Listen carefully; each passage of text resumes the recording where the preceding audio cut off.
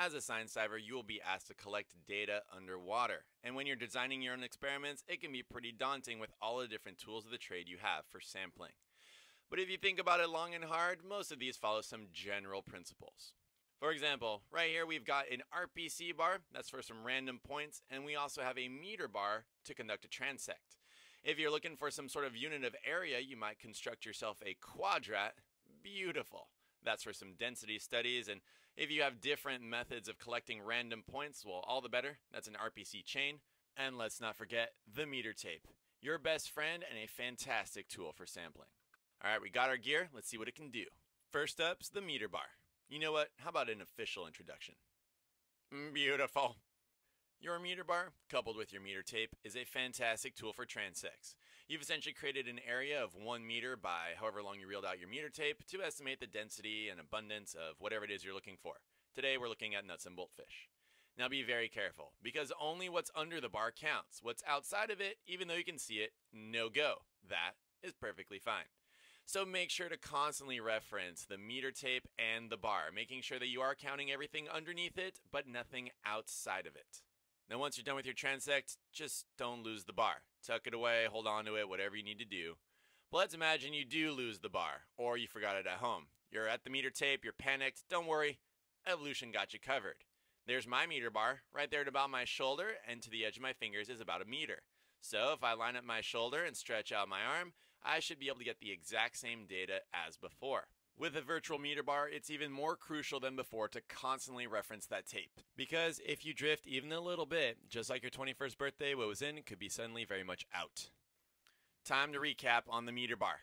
Stay in the bar, only counting what's under it. Don't lose the thing. But if you do, you can use a virtual meter bar, but then you must constantly reference that meter tape so you only count what you should. Okay? Okay.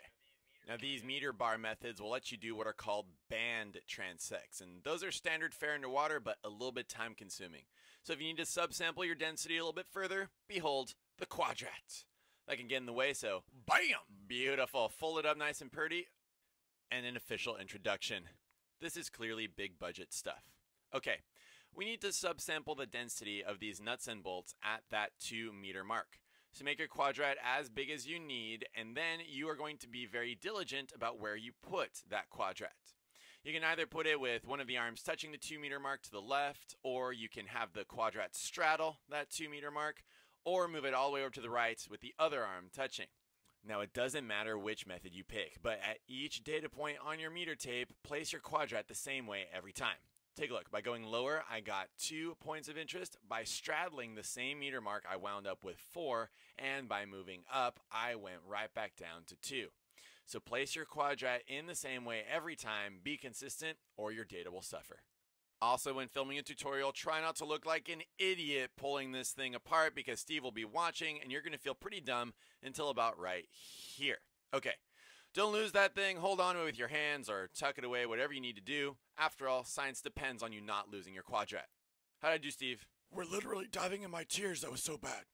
Ah, Papa Steve, always so supportive. Now, one thing you might find yourself doing with quadrats beyond counting what's inside that area would be measuring specimens. So grab your calipers, I had mine tucked under the bungee of my compass, and measure away. Once you've measured something, toss it outside of the quadrat. Don't double dip your data because if you do duplicate your data points, your dad will be duly disappointed with your duplicity, and that's enough of that. Now, I don't know how much data you can remember all at once, so jot it down every so often so you don't forget, and then move on to your next quadrat without losing those calipers. But maybe the calipers you have on hand are too small for what you're trying to measure. That's why you should choose your weapon carefully. Maybe calipers will work, but it might be better to have a ruler on the side of your slate for boltfish.